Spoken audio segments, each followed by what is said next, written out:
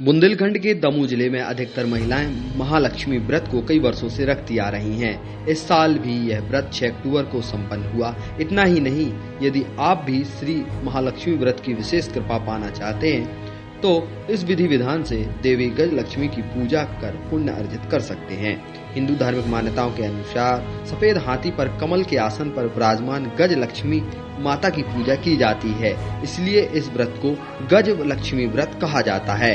इस दिन व्रत पूजा विधि विधान से करने से ज़िंदगी में अपार धन वैभव की प्राप्ति होती है। महालक्ष्मी व्रत पर कमल के फूल का तो विशेष महत्व होता ही है।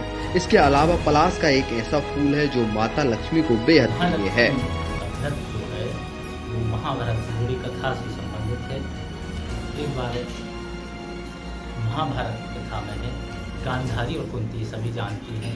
गांधारी जो उनके सौ पुत्र थे ठीक और कुंती जो थी उनके पाँच तो महाभारत की कथा सबको पता है। उसके जलन भाव के कारण से गांधारी के सौ पुत्रों ने एक विशाल मिट्टी का हाथी बनाया और गांधारी ने अपनी रानी कुंती को नहीं बुलाया ठीक इस दुख में वो रंग दुखी थी। ठीक दुखी रहने के कारण उसी समय पाँच पांडव आ गए। ठीक प्रार्थना ने अर्जुन ने पूछा अपनी माँ से माँ दुखी क्यों ठीक है, उन्होंने ये बताया बताया कि ये जाति का अपमान है। तुम्हें अपमानित करने के लिए हमें नहीं बुलाया।